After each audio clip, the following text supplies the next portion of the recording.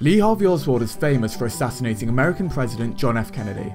Born in 1939 New Orleans, he moved around frequently growing up until the age of 17 where he quit high school and joined the US Marines. He was a competent sharpshooter but a pretty regular Marine, although that changed when he began expressing radical pro-Soviet beliefs. After three years in the Marines he was released and he moved to the Soviet Union but failed to become a citizen. In Minsk, Belarus, he met and married a Russian woman named Marina in 1961. After 13 months, they both returned to the US along with their three-month-old daughter. Now in Dallas, Oswald was suspected to have continued with his communist infatuations, allegedly handing out pro-Castro leaflets and trying but failing to get a visa for Cuba.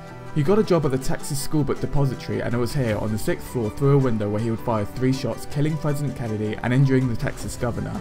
Shortly after, he was stopped by a patrolman who he killed, but less than two hours after the initial assassination he was seized by the police. Two days later, when being transferred from a jail cell to an interrogation office, he was shot by nightclub owner Jack Ruby,